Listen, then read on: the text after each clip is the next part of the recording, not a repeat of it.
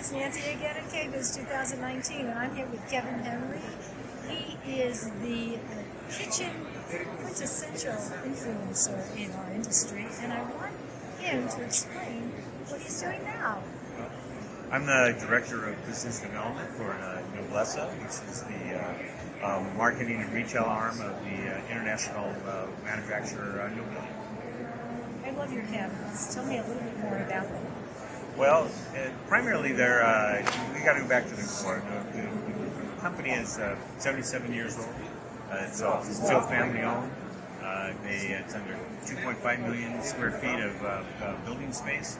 Uh, we do uh, 1.4 billion dollars in sales. Uh, 3,000 employees. Uh, we turn out 3,500 kitchens a day. Yeah, that's tremendous. That is a lot of kitchens. Uh, it's about. Uh, yeah, well, I'll let you do the math. Oh, you know, I've been running around KBIS all day. I, I'm not doing any math. I just know that you do make good fun. products. Where can people find it in the United States? well, you can find it through the uh, Noblessa uh, Studio Network. Uh, they're an exclusive uh, product uh, to uh, the retail market, to, primarily to the design community.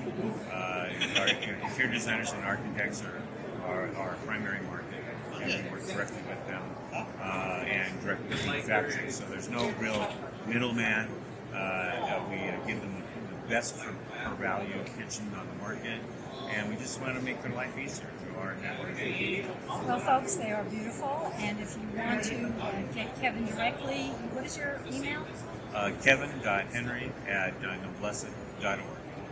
I've known Kevin for ages, and you're looking good. Nice to see you at KBIS. And back to uh, walking around the show.